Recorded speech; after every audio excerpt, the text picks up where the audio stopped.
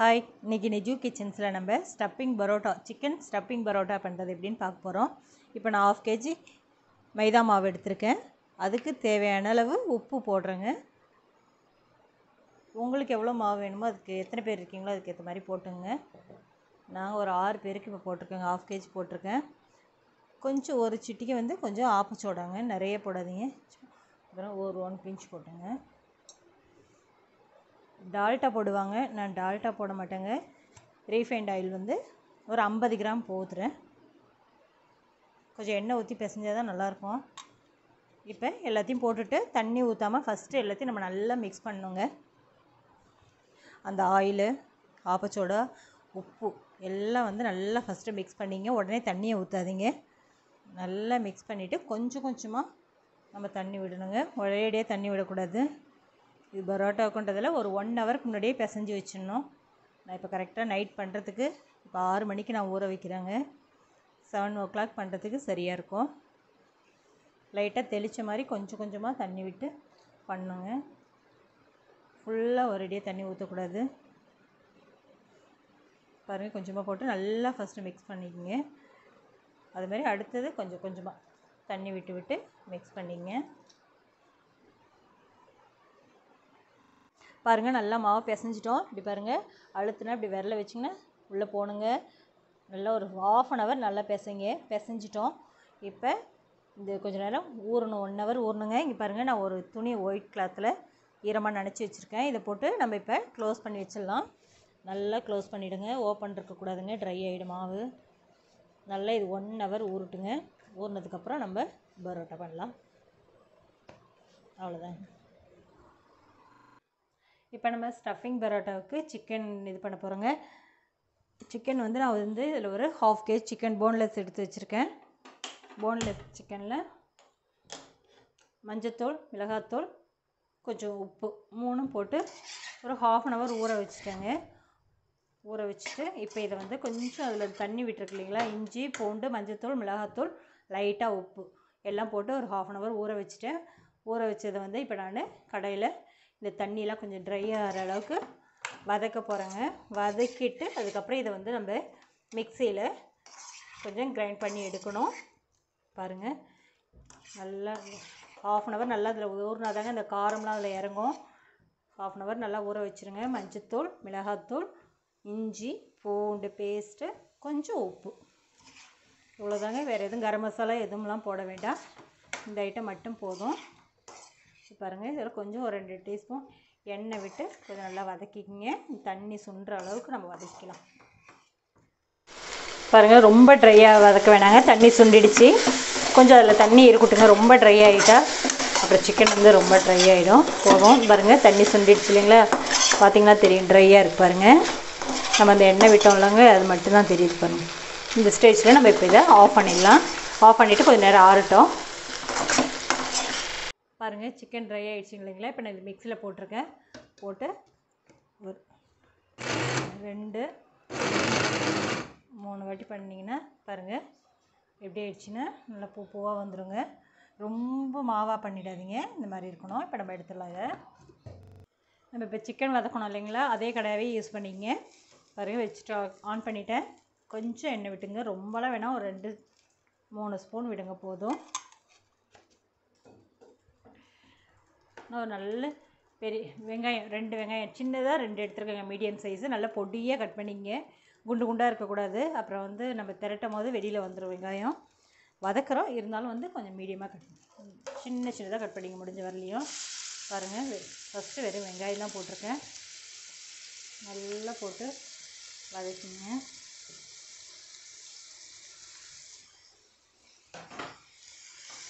நல்லா வதங்கணுங்க. பாருங்கள் வெங்காயம் வதங்கிடுச்சிங்க ரொம்ப கருகலாக வதக்க வேணாங்க. வெங்காயம் ஸ்மெல் போகிற அளவுக்கு வதங்கினா போதும். இப்போ நம்ம இதில் இஞ்சி பூண்டு தக்காளி எதுவுமே போட போகிறது இல்லைங்க. நம்ம ஏற்கனவே இதில் வந்து இஞ்சி பூண்டுலாம் போட்டு வதக்கிட்டோம். சரிங்களா? அதனால் இப்போ நம்ம என்ன பண்ண போகிறோம் கொஞ்சமாக மஞ்சள் பொடி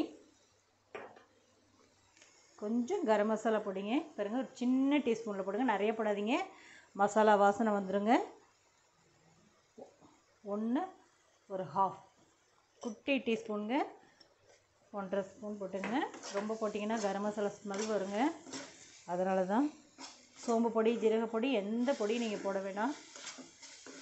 மட்டும் போதும். வெங்காயம் நல்லா வதங்கணும். வதங்கிடுச்சு இல்லைங்களா?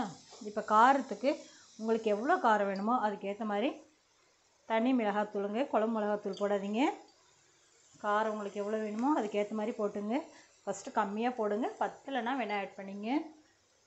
நான் ஒரு சின்ன டீஸ்பூனில் ஒன்று போட்டிருக்கேங்க. இது எங்கள் மிளகாத்தூள் இது கொஞ்சம் காரமாக இருக்கும். அதனால் நான் ஒரு ஸ்பூன் போட்டிருக்கேன். உங்களுக்கு எவ்வளோ வேணுமோ அந்த அளவுக்கு போட்டுங்க. இப்போ வதங்கிடுச்சு இல்லைங்களா? அவ்வளோதான் இப்போ வந்து நம்ம இதில் சிக்கனை போட்டுடலாங்க. தக்காளி எதுவும் போட வேண்டாம். போதும். ரொம்ப ட்ரை ஆகணும்னு அவசியம் இல்லைங்க பாருங்க. நம்ம அரைச்சி வச்சுருந்தோம் இல்லைங்களா சிக்கன் அதை இப்போ இதில் மிக்ஸ் பண்ணிக்கிறேன்.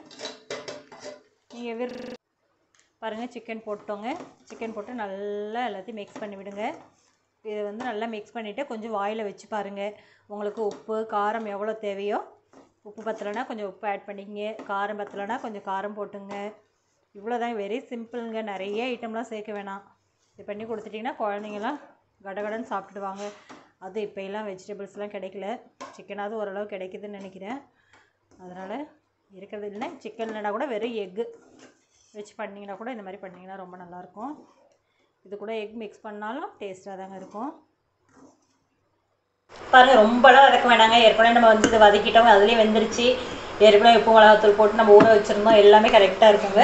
இப்போ கடைசியாக இதில் வந்துட்டு கொஞ்சம் நம்ம கொத்தமல்லி தூவிடுறோம் லெமன் வேணால் புளி பிடிக்குன்னா கொஞ்சம் ஹாஃப் லெமன் பொழிச்சிங்க எங்கள் வீட்டில் லெமன் புளிஞ்சால் அவ்வளோ பிடிக்காதுங்க. அந்த புளிப்பு இது.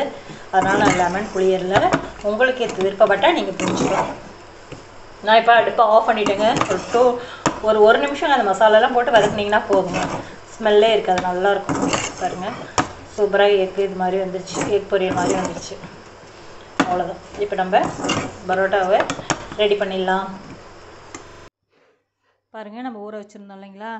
சூப்பராக ஊறி போயிருக்கு பாருங்கள் பாருங்கள் எப்படி நல்லா இப்படி வச்சதுமே பாருங்கள் கை உள்ள ஓடுது இல்லைங்களா? வெறும் கையில் தொட்டால் மாவு கையில் ஒட்டும். அதனால் கொஞ்சம் ஒரு ட்ராப்ஸ் எண்ணெய் விட்டுங்க கையில். கொஞ்சம் இந்த பரோட்டா பண்ணுறதுக்கு எண்ணெய் தேவைப்படுங்க. எண்ணெய் தொட்டு பண்ணால் தான் நல்லாயிருக்கும் இல்லைன்னா நல்லா இருக்காது. பாருங்கள் இந்த அளவுக்கு இழுக்கிறோம் பாருங்கள் இப்படி இழுத்தா நல்லா அப்படியே வரணுங்க பஞ்சு மாதிரி லப்பர் மாதிரி இருந்ததுன்னு வைங்களேன் இழுத்தோனாக்கா. அப்புறம் மெல்றதுக்கு ரொம்ப கஷ்டமாக இருக்கும். ஓகேங்க. இல்லை வீட்டில் யாராவது ஜென்ட்ஸ் இருந்தால் நல்லா பிசைய சொன்னீங்கன்னா நல்லா பிசைஞ்சிருவாங்க இப்போ பாருங்கள் நான் இங்கே வந்து கட்டை நல்லா சோப் போட்டு வாஷ் பண்ணியிருக்கேன். இப்போ எங்கள் வீட்டு இந்த கிச்சன் மேடையிலேயே நான் வந்துட்டு பாருங்களா நல்லா நீங்கள் துணி எப்படி அலசுவீங்களோ அந்த மாதிரி கொஞ்சம் நல்லா எண்ணெய் விட்டுங்க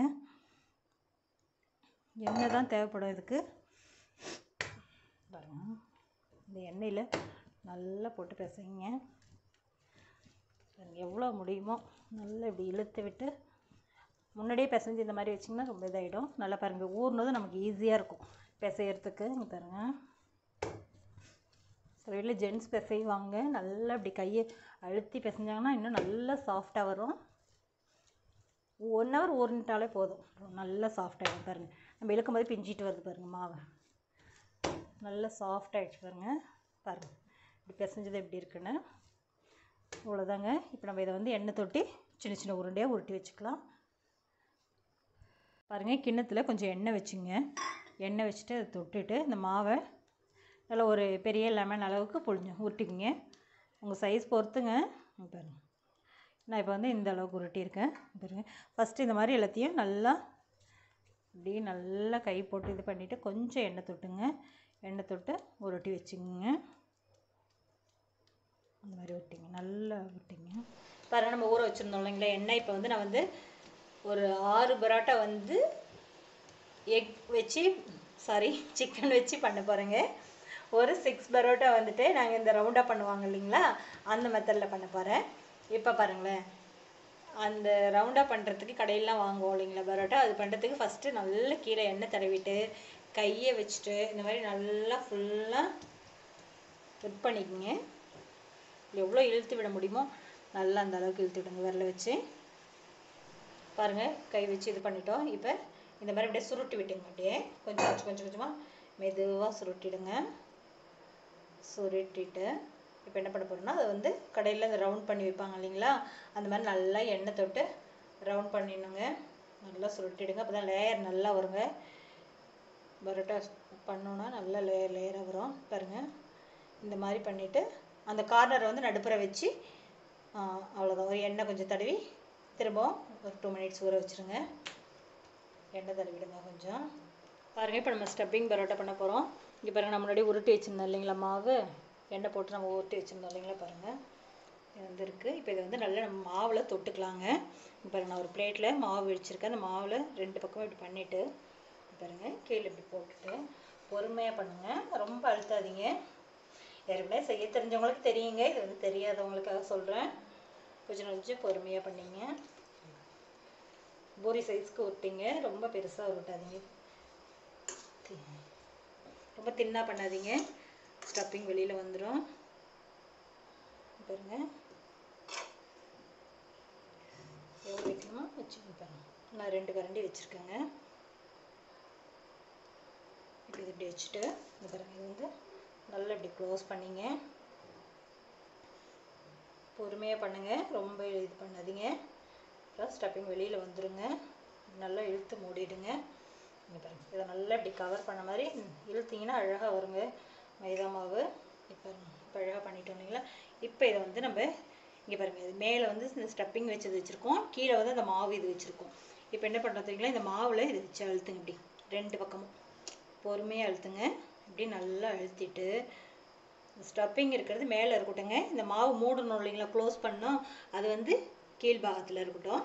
இப்போ வந்துட்டு இதை இப்படி வச்சுட்டு திரும்பி இதை வச்சு ப்ரெஷ் பண்ணுங்க. இங்கே பாருங்கள் இது ஒரு பபுள்ஸ் மாதிரி வரும் ஏர்லாக் வருங்க. அப்போ அந்த இடத்துல கும்மா கையை வச்சு குமா இப்படி ஒரு ஹோல்ஸ் போட்டு விட்டுடுங்க. அப்படி இல்லைன்னா இந்த டெத் பேக் அதை வச்சு ரெண்டு ஹோல்ஸ் போட்டிங்கன்னா அந்த ஏர்லா இதாகிடுங்க இப்போ பாருங்கள் அந்த நீங்கள் திருப்பியே போட வேண்டாம். நம்ம முன்னாடி அந்த க்ளோஸ் பண்ணது அடியில் இருக்குது இந்த மாவு வெளிச்சது மட்டும் ஸ்டப்பிங் பண்ணது மட்டும் மேல் பாகம் இருக்குங்க.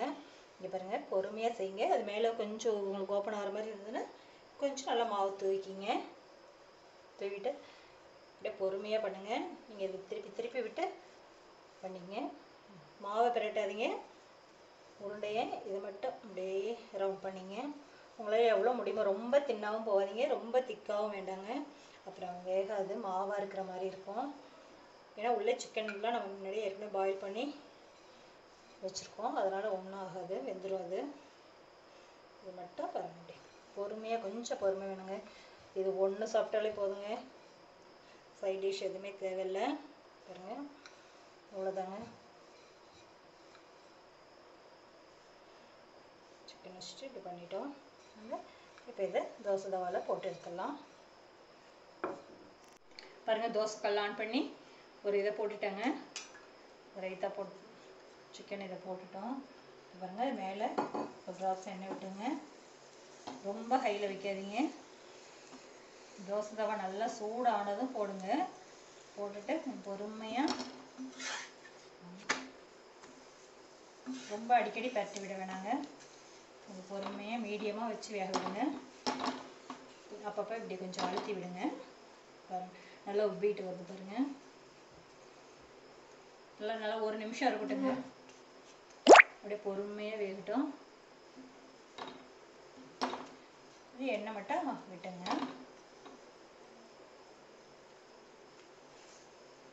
பாருங்க ரெடி ஆயிடுச்சுங்க.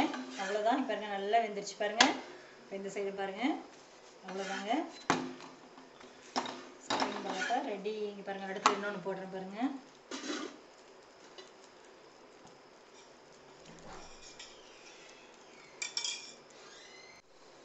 பாருங்க. இன்னொன்று போட்டுட்டோங்க. பாருங்க இந்த சைடு வெந்துருச்சு. நல்லா கொஞ்சம் எண்ணெய் விட்டுங்க நல்லா.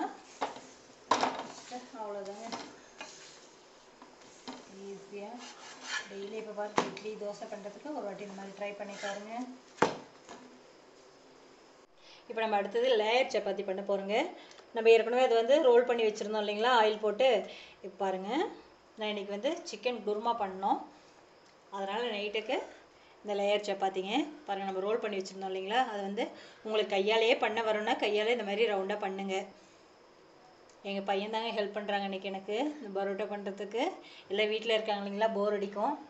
அதனால் பண்ணி ஹெல்ப் பண்ணி கொடுக்குறாங்க.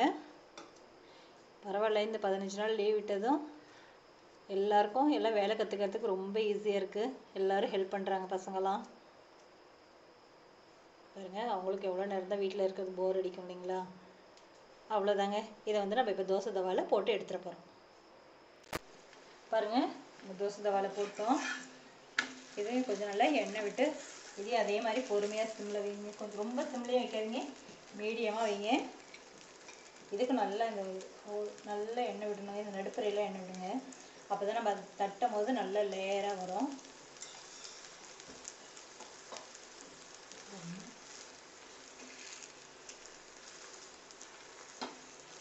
இப்படி இப்படி கொஞ்சம் அழுத்தி எழுத்தி விடுங்க.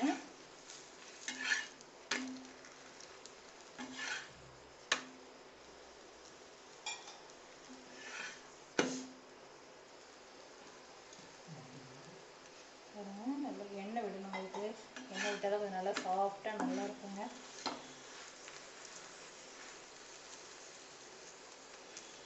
பாருங்க, நல்லா வேகட்டும் பாருங்க இன்னொரு பரோட்டா போட்டிருக்கேங்க இது. இது பார்க்கறதுக்கு இப்படி தாங்க இருக்கும். அப்புறம் நம்ம ஸ்டவ் இது அதனால தட்டி விட்டோம்னாக்கா லேயர் ஆகிடுங்க என்னோட ரொம்ப அடை மாதிரி இருக்கேன்னு நினச்சிக்காதீங்க.